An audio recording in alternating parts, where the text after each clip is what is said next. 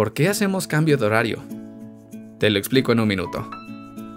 Al parecer es culpa de Benjamin Franklin, quien en 1784 propone adelantar los relojes una hora con la finalidad de aprovechar un poco más la luz del día.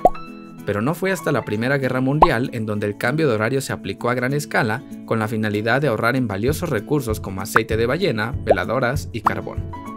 Hoy en día el horario de invierno nos permite dormir un poco más, y despertar con la luz del sol, de modo que ahorramos energía en ese pequeño momento de la mañana, suponiendo que no uses tu refri, microondas, cafetera, tostadora, etc. en ese lapso de tiempo.